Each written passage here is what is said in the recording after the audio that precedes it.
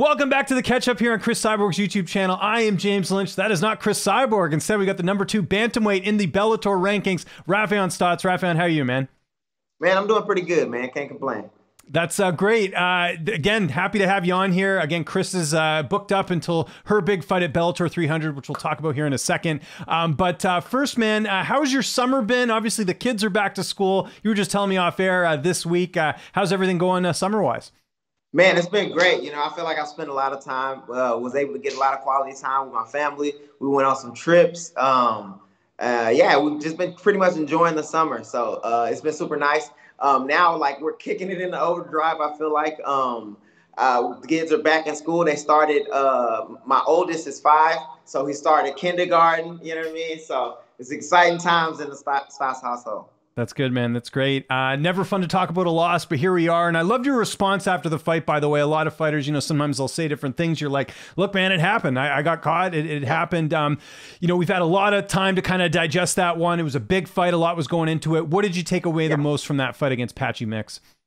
Um, you know, uh, I didn't really take a lot of uh, take away a lot just because the fight, you know, I feel like ended uh, a lot prematurely. Um, there are things, you know, I feel like I could have done better, but I always feel like, you know, um, hindsight is twenty twenty, you know, and um, I, I could say I would have done a lot of things differently and, and all this. One thing I do know, uh, one thing I know that I can control is um, pretty much the last two fights I've had, I've been feeling kind of like uh like sluggish, and I was like thinking it was like a part of me uh like getting older, you know what I mean, or like I was like maybe it was time for me to like hang it up. These last two camps, uh, and it's not like I was um like sluggish in the gym. I just felt more labored doing the things that I was doing, and I'm laughing about it now because it was it just came down to me like I freaking didn't eat. I didn't follow the meal plan that I was supposed to be on. Like I had a, I got a nutritionist and I have a meal plan that I'm supposed to be on. And um, so they deliver the food to me, and I freaking I eat all the food they give me, but I was also supposed to supplement that food.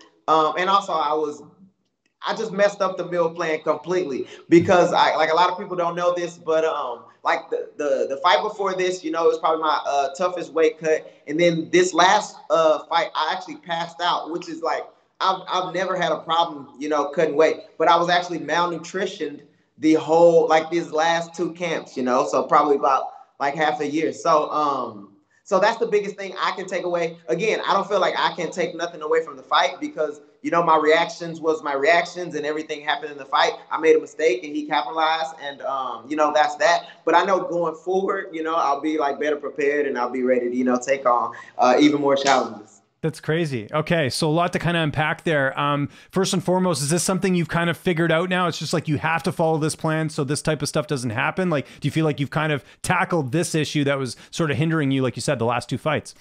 Yeah, so I, I feel like I've, I've tackled it and I've, I've just addressed it, um, or I, uh, I've noticed it. You know what I mean? It wasn't like a big thing that I feel like uh, uh, that I just had to like figure out. It was like, oh man, dummy, you didn't eat what you were supposed to eat. Like, um, and that's why, because again, it was I, I, was like um subconsciously, you know, and, and kind of consciously feeling like, oh man, I'm super like I've done eight rounds today, but I'm like super tired after eight rounds. Like, what's what's going on? Man, it must be age or something. You know what I mean? And then this went on like the last two camps. But what happened? I, I switched uh, meal plans um, that I was on, and I just didn't freaking uh, I didn't adjust, you know, how I, I should adjust. So I was literally like fighting malnutrition and uh, or training, I should say, training malnutrition. And then um, that's why I was feeling that way like during camp. Um, but yeah, uh, as far as for like the fight, I feel like you know I'll just be I'll just be more confident and more you know um, prepared, you know, for um, uh, my fights coming up. What about like in the gym now? Because I'm sure you're training as well. Like we haven't seen you fight, but uh, do you just like I'm sure you feel a difference there? Like you said, you were feeling sluggish. Now, do you sort of feel yeah. like your old self, or do you feel even better than you did before? I, I, feel more of my old self, and um, and that's another reason I wanted to take this, or I got to take, or I was able to take this summer, um, just to let my body kind of recuperate, you know. Um, and yeah, I feel I feel better, you know, which is, and I and I laugh about it because it's like, duh, like you eat better, you feel better, or you eat what you're supposed to eat. You know, you feel better. Um, and, but there was also like a time in my career, like early in my career, you know, where I felt like, man, uh, cutting weight is hard, but it was like a thing where like I thought cutting weight was you don't eat you don't eat anything and you work out and you know you would get you know the returns from that, but it's um it's quite the opposite. So uh, yeah, I to be honest, I feel kind of stupid about saying it, but um, it's it's a mistake that I made that I'm able to move forward and get better with. So I'm I'm excited for the future. When do you want to get back in there? Again, you've been off since a little bit, and it's obviously good when you get finished in a fight to kind of take some time off. You mentioned the health issues. Ideally, when would you like to have that next fight? Um, so they're in talks. I'm in talks now um, about getting in there really soon. I don't know if I can talk about you know um, when and where and who it is um, because I haven't got contracts yet, and yeah. I want nobody to weasel their whack out of the contract because I also feel like now that I don't have the belt, I'm gonna probably run into that thing where it's like I, I don't want to go through Raufeon to try to get to the belt. Um, yeah. So um, yeah, I want to get in there soon. I'm hoping to get in there soon. I've been training and things. Um, so yeah, I want to get in there soon, and I want to try to get. You know, I got to get my the strap back. I got to get my you know uh, win back. I got to get you know a lot of stuff. So um, I know it starts with this fight that I'm gonna have. So um, yeah, real soon. I should I should be literally having news like real soon.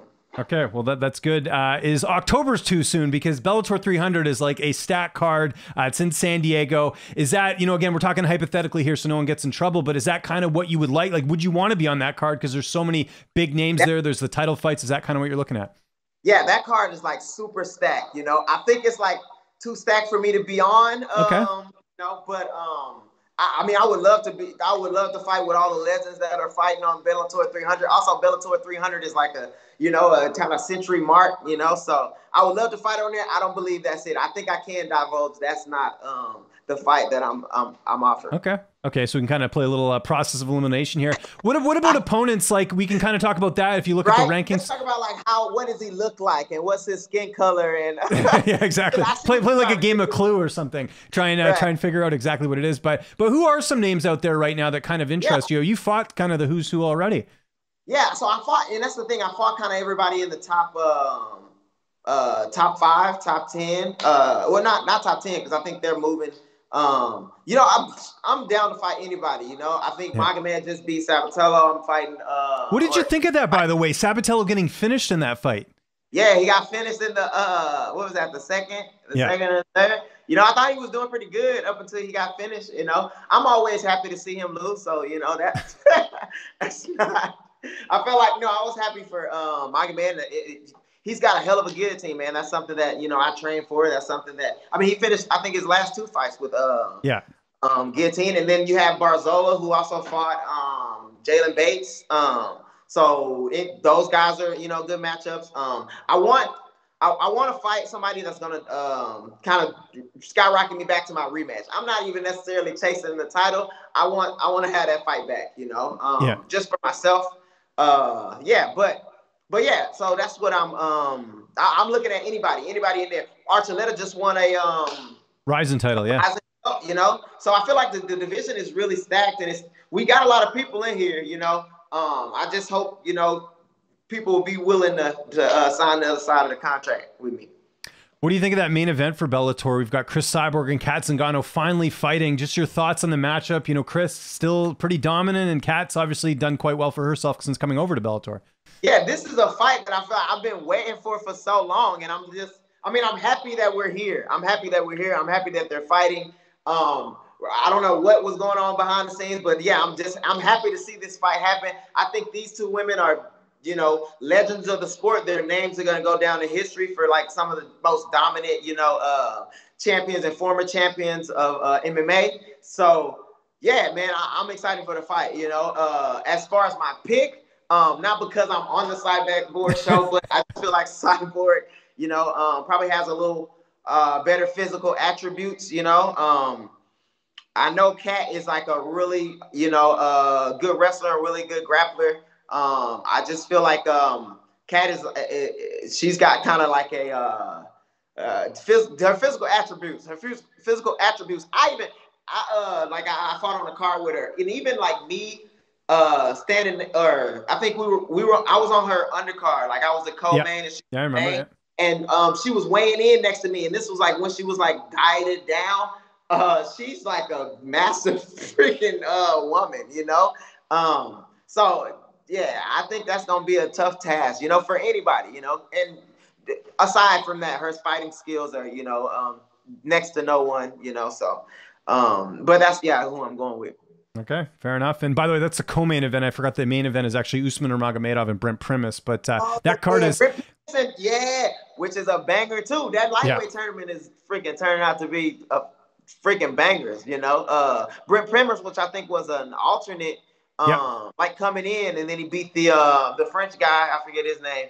Um, yeah, man, I'm, I'm excited for that because that's another fight where you got um uh, uh Usman uh Usman Nurmagomedov, who's been you know uh, flawless everywhere. You know, um, I feel like Brent Primus is is a really good grappler. His grappling gets uh kind of under what do you call it? Uh, not uh, undervalued, underrated. Overlooked. Yeah, yeah, underrated. You know, I feel like he's got really good grappling, and his um and his stand up is you know uh, uh, really good too, and he, he mixes the, the, the two well. So I think that's gonna be another you know tough test for. uh I mean, I'm excited to see it. I don't really know who's gonna win because um I, I'm excited to see it though. How are you dealing with these Bellator sale rumors? I know, I know a lot of you guys on the roster, you don't know what the future's looking like. I mean, it, they are still running like business like usual. Like Scott Coker said, they're going to be doing events beyond Bellator 300. We've also heard, like, you know, your good buddy there, Sergio Pettis, is re signed with the promotion. So it seems like things are as normal, but you can, I'm sure, ignore the noise outside of there. How are you dealing with it? Yeah, I'm just pretty much in the dark. Um, I actually just got off, my, off the phone with my manager. That's why I was like a little late to the video. Um, I, I, we really don't know what's going on. I have no idea what's going on, but you know, I'm gonna just continue business as, as normal. You know, I got I got you know things I gotta handle. I don't I can't really uh worry about things outside of my control. You know, whatever happens, you know, I'm gonna put my best foot forward. I feel like I'm one of the best mar- mixed martial arts mixed martial artists in the world, and I'm gonna continue to do that. And I'm gonna continue to be great at that, and um, let the other chips kind of fall where they may. I don't yeah. really, I, I, literally don't know.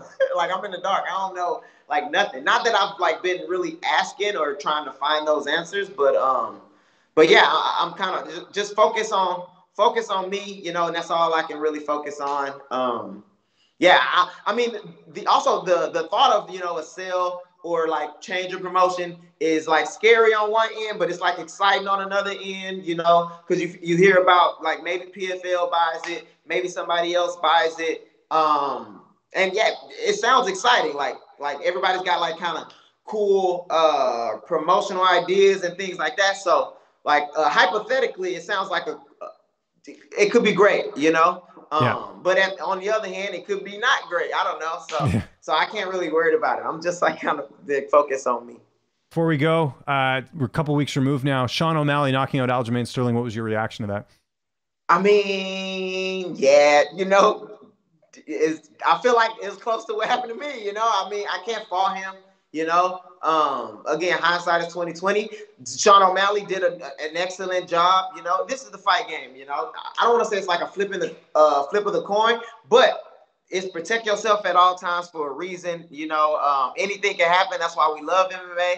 You know, and that's why we have the fights. You know, going into that fight, a lot of people thought, you know, um, including myself, thought Aljamain just his skill set was too much for Sean O'Malley. Sean O'Malley proved everybody wrong, you know, and you can't fault him for that. He went in there and he did everything he needed to do to get that position. And um, yeah, you know, I'm happy for him. You know, I think uh, Aljamain will come back, and I think, um, you know, uh, yeah, that division is a is a is an exciting division too. So yeah, I, I just thought it was crazy. It was wild. it was wild.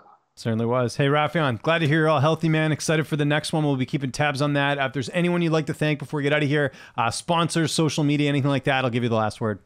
Yeah, man. I'm actually starting a uh, podcast. Oh, um, oh, cool. It's probably going to start uh, mid September. Um, we doing like content for it now, which I'm finding like joy and I'm uh, finding like people all around Houston because that's where I'm from. And we're gonna we're talking over food and we're uh, talking to like influential figures around Houston, and um, I'm pretty excited about it. We like four episodes in, you know, um, but we haven't like released anything, so uh, I'm excited about that. Uh, also, want to thank my um, the team at Cricket, Cricket Wireless. You know, um, they stuck with me, you know, uh, throughout this whole process. Um, also want to thank, you know, my management, um, Sucker Punch, uh, also Everest, um, my PR uh, manager, and um, yeah, man, uh, everybody just be on the lookout because I got fight news coming soon, and uh, I'm ready to start climbing again. Love it. All right, man. We are done recording. I will uh, get this episode.